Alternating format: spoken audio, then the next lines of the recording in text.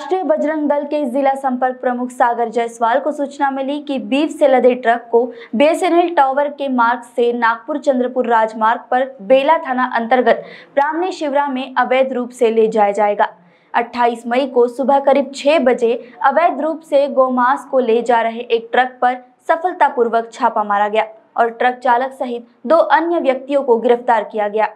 बजरंग दल के जिला संपर्क प्रमुख सागर जायसवाल को गुप्त सूचना मिलने के बाद बेला पुलिस को सूचना दी कि नागपुर से आ रहे ट्रक में बीफ आ रहा है। सूचना मिलने पर बजरंग दल के कार्यकर्ता भूषण रमेश कुरसांगे, रोहित जीवन कुकड़े, सौरभ अंकुश वाणी और दीक्षांत धनराज पाटिल मौके पर पहुँचे और ब्राह्मणी गाँव के पास राष्ट्रीय राजमार्ग चौवालीस पर बीएसएनएल टावर के पास ट्रक को रोका।